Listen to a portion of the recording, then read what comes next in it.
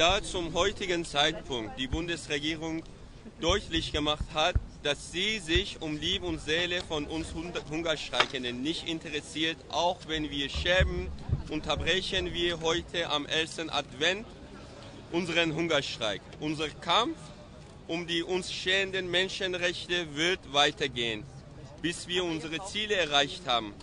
Dafür sammeln wir ab heute neue Kraft. Punkt.